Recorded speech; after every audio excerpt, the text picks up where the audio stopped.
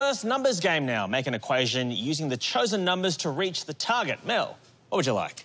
I would like two large numbers, please, Lily, and four small numbers. Two large and four small. I can do that for you, Mel. And our numbers two, seven, three, and one. And our large 75 and 25.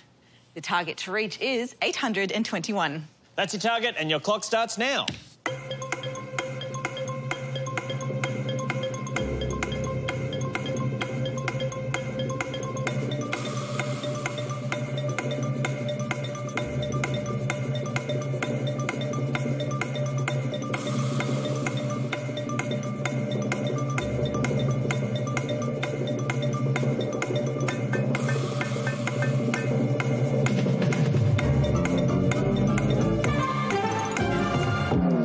Time's up. Did anyone reach the target? Alex Ward?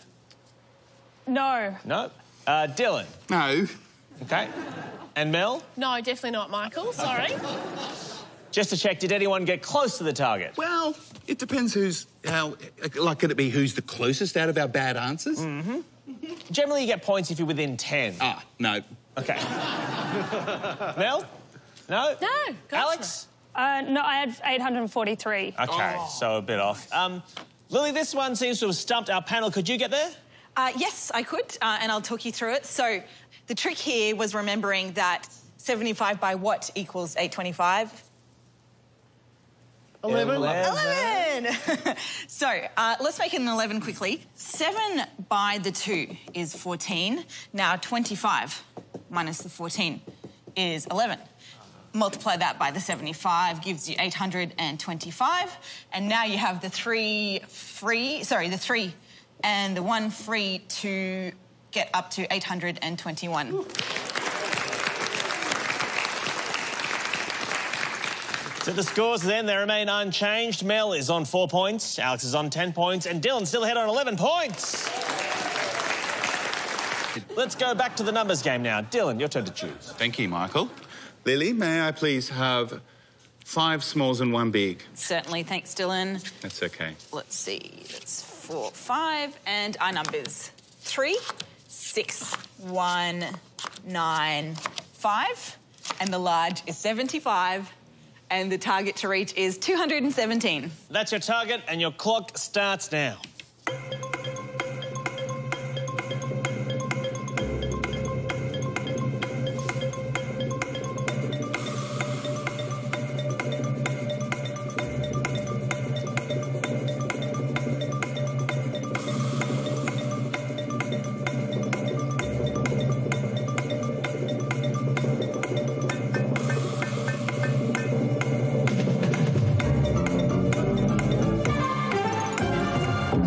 Time's up. Did anyone get the target? Dylan? Yes? Mm-hmm. Pretty good. No, no, oh, no, no, no, I was just answering you. yes? How close did you get? I got the target. Right. Uh, Alex Ward, how'd you go? I got the target. Hey! Mel Buttle? Yeah, Michael, I got the target, baby. Nice.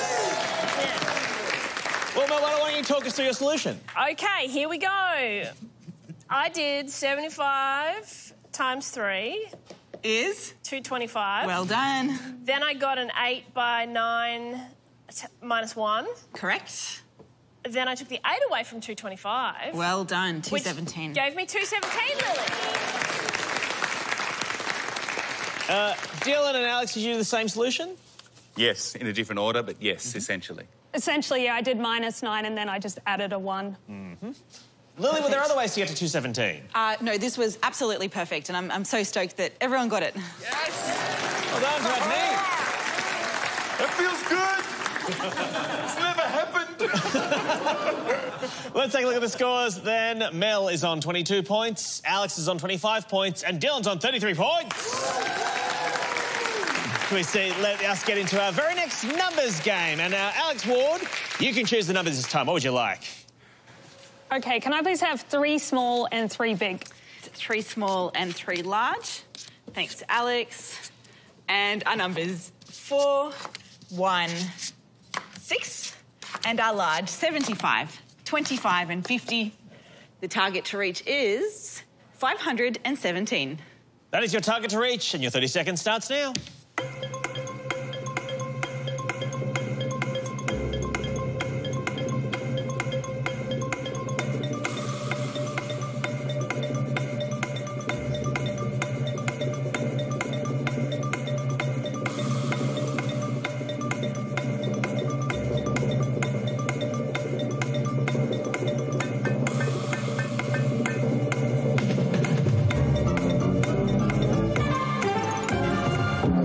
That's time. Did anyone get the target? Alex Ward. I- I'm four off. Four off. Yeah.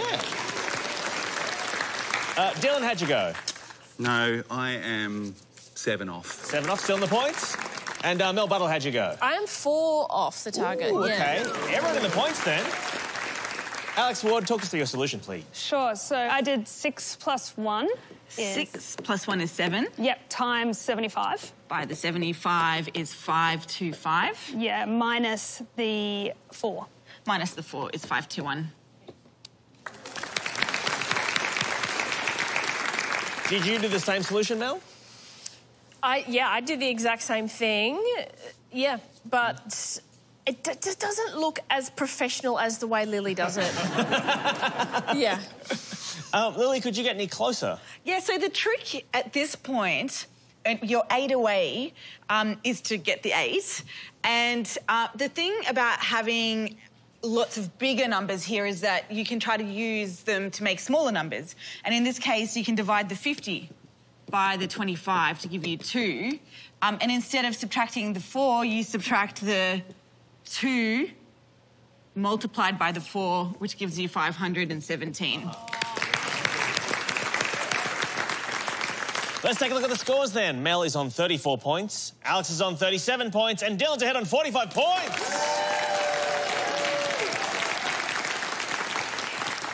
It's time now to head over to Dictionary Corner. Alasdair, what have you got for us? Hello, Michael. Now, as you may know, I am an engineer by training, right? Now, a lot of people think that that means that I love maths, but I don't, right? I, uh, I, I don't trust it, right? Like, like, first of all, like, is it maths or math, right? I mean, you would think that if your whole field of endeavor had to do with counting, that's the first thing you would work out, how many of it there are, right? now, like engineering, maths uh, claims to solve problems, right? Now, now here's a problem here. Now, uh, would anybody here like to use math to try and solve this problem? Sure, it's 11. The answer's 11. Okay, well, that may be true. I mean, if I used my pen and paper, possibly I could uh, check it for you. You know, break the pen into five pieces, tear the piece of paper into six, and count the total number of objects, right?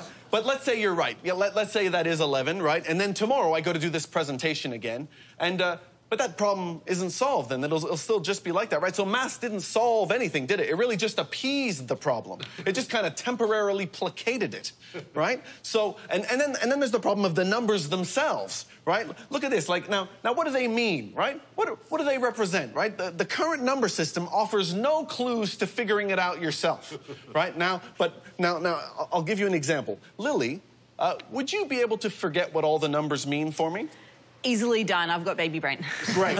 Okay. With a fresh mind now, could you tell me what you think the numerical value of this symbol is right here? well, I can only assume that there's one symbol there, so this symbol means one. Oh, that's very embarrassing for you, Lily. I'm sorry, but that's absolutely incorrect. You see, the only reason that we know what any of these numbers means is because somebody told us what they mean, right? Ah, the old appeal to authority fallacy, right? I'll, I'll fix all of these problems with, with my new system, right? Now, and, and to do my new system, we just have to shift from a base 10 number system to a base one number system, right? Now, in the base one number system, we only use one, and any additional one is also is also one, right? so, so for example, one equals one, right? And 11 equals two, right? And uh, 1,111,111 is seven, right? And so just look at how easy maths becomes with, with this new system. Now, uh, there's the old problem from before, five plus six. There it is, still unsolved by traditional means, right? And think of all the, all the difficulty you would have to undergo to, to, to solve this problem using the old system. You'd have to write these numbers down, rack your brain to try to remember what these impenetrable runes represent, right? But with the new system, with base one, once you've written it down, you've already solved it, right? Now, Lily, would you you be able to write down uh, the five, which is uh, uh, 11,111, Yes.